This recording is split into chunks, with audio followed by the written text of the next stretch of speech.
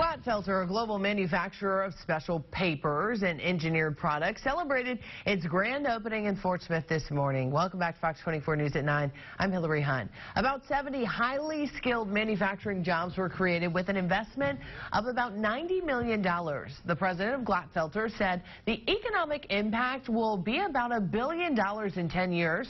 Though the company is headquartered in York, Pennsylvania, Fort Smith was chosen for its close proximity to key customers and raw material resources, along with a locally talented workforce. Governor Asa Hutchinson, along with Senator John Boozman, attended that event. Hutchinson says Arkansas was competing globally for this manufacturing plant.